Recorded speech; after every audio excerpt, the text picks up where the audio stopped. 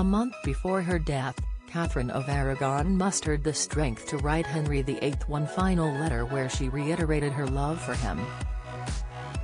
Despite her treatment, she wrote to Henry, her most dear lord, king and husband, and sought to express her forgiveness. Henry's first wife had fallen out of favour as she had only given him a daughter, Mary, having lost at least five children. Instead, he set his sights on her young and captivating lady-in-waiting, Anne Boleyn. Henry sought to prove their marriage was invalid and she was then dismissed from court and denied any contact with her only child. Yet, Catherine remained loving and defiant of her claim to the throne in what has been described as one of the most moving farewells in the English language. Catherine spent the final few years of her life estranged from Henry at Kimbolton Castle, Cambridgeshire, suffering from cancer, according to Giles Tremlett's 2010 biography Catherine of Aragon, Henry's Spanish queen.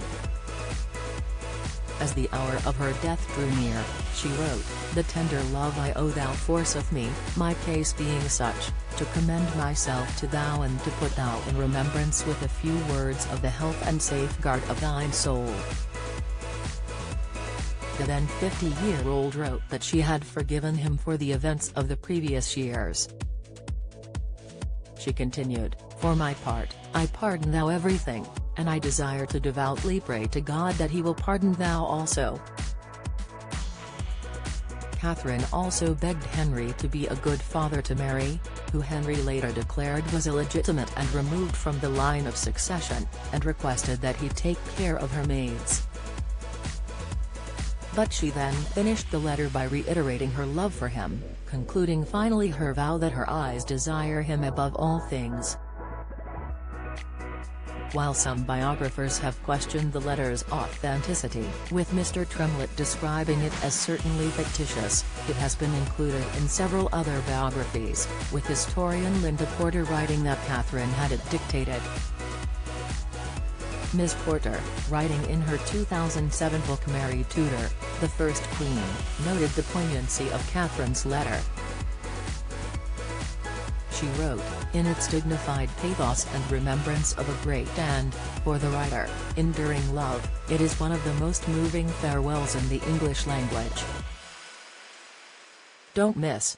Anne Boleyn and Catherine of Aragon's rivalry debunked in new analysis. Analysis, Finding Love in England's Most Famous Prison, Megan Clausen's novel, Insight, AI scan shows Henry VIII as he would look today like a taxi driver, report, it was a farewell which followed a great deal of upset. Despite Henry and Catherine being largely happy throughout their long marriage, although historians say Catherine tolerated his infidelity, the lack of a male heir became a problem that Henry could not let slide. The monarch, known to be superstitious, became convinced that Catherine's brief teenage marriage to his older brother Arthur just five months had been consummated, Catherine and Arthur tied the knot by proxy on May 19, 1499. He believed his union with the woman who was once betrothed to his sibling had displeased God and was the reason why she had not produced a son. Henry then had Catherine put on trial, where she was humiliated, and questioned about her sexual relationship with Arthur she denied the allegations and insisted that she was the rightful queen. But the ship had sailed for Henry, who now had his hopes set on tying the knot with Anne. Eventually, their marriage of 24 years was annulled. Following Catherine's death, an autopsy revealed that her heart had turned black which is now thought to have been caused by heart disease but at the time, Henry's new Queen Anne was accused of poisoning her predecessor. Linda Porter's 2007 book Mary Tudor, The First Queen is available here.